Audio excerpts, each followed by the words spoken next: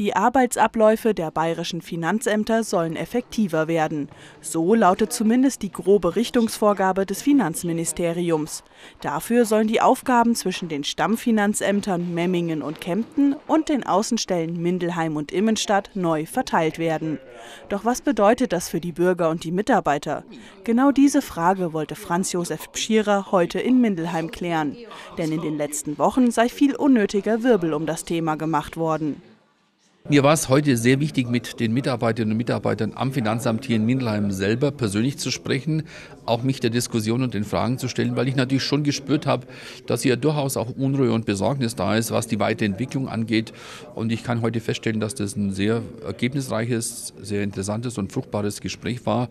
Wir haben uns wirklich hier sehr intensiv ausgetauscht und ich hoffe, dass ich am Beitrag dazu leisten konnte, dass die Ängste der Beschäftigten nicht mehr vorhanden sind. Konkret heißt das, die Außenstellen der Finanzämter bleiben auf jeden Fall bestehen. Und weder in Immenstadt noch in Mindelheim werden Stellen gestrichen. Hierfür könne man ganz klare Garantien geben, so Pschierer. Auch werde kein Mitarbeiter gezwungen, den Standort zu wechseln. Das soll, wenn überhaupt, auf freiwilliger Basis geschehen. Die Bürger sollen von den Veränderungen nichts spüren. Wir wollen auch, dass die Ansprechpartner vor Ort, insbesondere die Servicezentren, erhalten bleiben. Die werden definitiv an den Standorten bleiben. Und es wird auch so sein, dass wenn ein Steuerbürger ins Finanzamt kommt, in sein Finanzamt, ob das in Mindleim ist oder in Immenstadt, er Auskunft über alle Steuerarten erhalten kann. Das heißt, die Bürgernähe und die Servicequalität wird erhalten bleiben.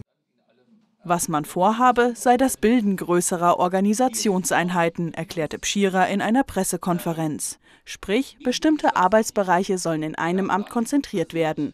Wie diese Zusammenlegung von Zuständigkeitsbereichen bestmöglich funktionieren kann, das soll nicht alleine das Ministerium entscheiden.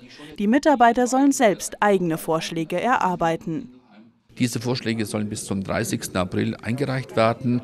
Wir werden die dann bewerten und ich hoffe, dass wir bis zur Sommerpause dann auch erste Ergebnisse haben und sagen können, so können wir diese Optimierung uns vorstellen, gemeinsam mit den Mitarbeiterinnen und Mitarbeitern.